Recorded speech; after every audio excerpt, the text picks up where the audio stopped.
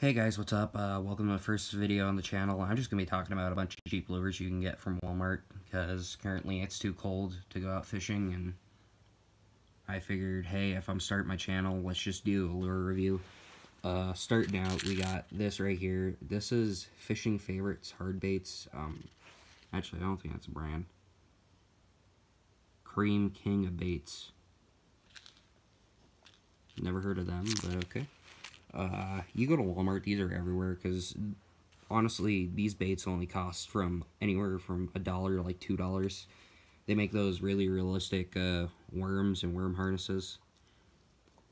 And I bought this one last summer. I never got a chance to use it. I don't know why. It looks pretty good. And then we got this one that I just bought the other day because during the summer when I'm fishing for walleye, I find they're puking up a bunch of crayfish, so I figured, hey, we'll try one of these smaller ones so I catch perch too. And then, if you don't like the look of this one, let's give you a couple of quick looks at them. For a dollar, it's pretty good looking bait, honestly. I think it looks really good. Uh, but if you don't like that one, Rebel does have this little wee crawfish. Um, there's really nothing different about it, except for a couple of the color changes and obviously this one is about two of these put together. But uh, it runs really good. Um, I find that bait casters can cast these although it's probably easier to throw them on a spinning rig. This one I definitely don't think a bait caster will cast. I think it's way too light. Um, as far as this one goes, I think that's a pretty big and wide bill for this. I don't know how deep this is going to run, but I'm sure depending on how fast you're going will depend on how fast it goes. So, you can fish it on top too. You can twitch it on the top, maybe make it look like a hopper of some sort. Then we have these. Um, these are called rigged twirl tail grubs. I, I just call them uh, curly tail grubs they're by the exact same people, I just realized.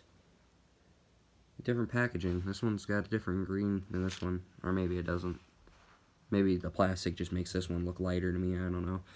Um, this is personally my favorite. I really like this see-through green and pink head. Uh, the perch and walleye both really like this color, and I can fish it a bunch of different ways retrieving it back to me fast, slow, letting it sit on the bottom. Either way, I've caught and fish on them. This one I bought just because during early June, leech seemed to be a really good lure color or even bait to use, so I think these would work really well. Um, these two I think were about $2 or even 150 maybe 250 at the most. Uh, these right here, this might have been $2, but I'm pretty sure it was only $1 because I got it out of the $1 bin, but I'm not sure. Uh, this one I know is probably five dollars, maybe even five fifty, honestly. But I, like I said, I couldn't tell you. I don't have the receipt on me right now. But all this together, if, even if these are two dollars, it's like two, that's like six bucks, maybe seven bucks. That that's pretty good, honestly, considering most lures, like even this. I mean, from what I know, Rebel's a pretty cheap brand, and this was like five bucks. So I'm definitely pretty happy with getting all of these for only like seven bucks each.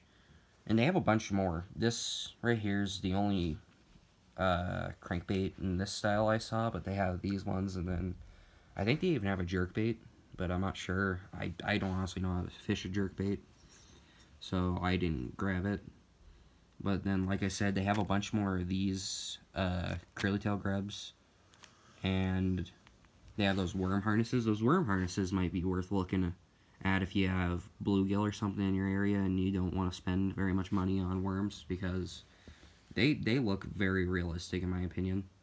Like I almost grabbed one, but I didn't just because I've never had very much luck on a fake worm, so I find it easier just to use a real one. But um, it was also only like one dollar and then they also have those realistic bug lures there. They have a grasshopper, a mayfly, I think a freshwater shrimp. They have a bunch of them. Like, honestly, I don't remember seeing this brand up till about two years ago, but I can't believe how nice their lures look and for how cheap they are. Like, like I said, look at the colors of this one again. It's got the really nice gold and orange. It even got a bead in there, I think. Or maybe that's just it rubbing against the plastic, I don't know. But it was only a dollar.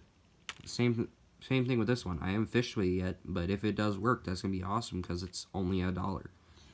These, a buck fifty to maybe two fifty. And you get one, two, three, four, five, six of them in a pack.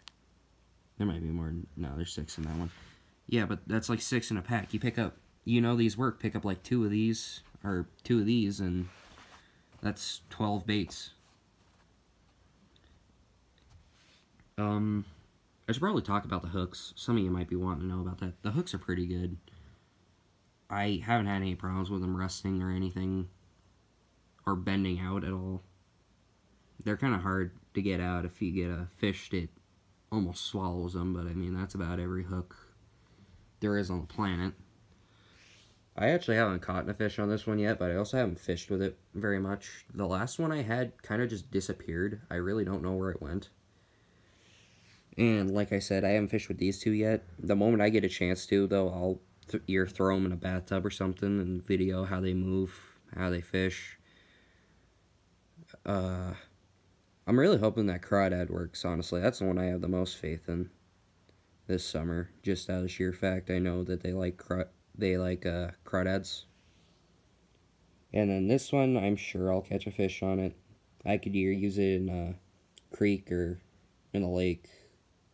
I am sure there's somewhere I can catch a fish on it.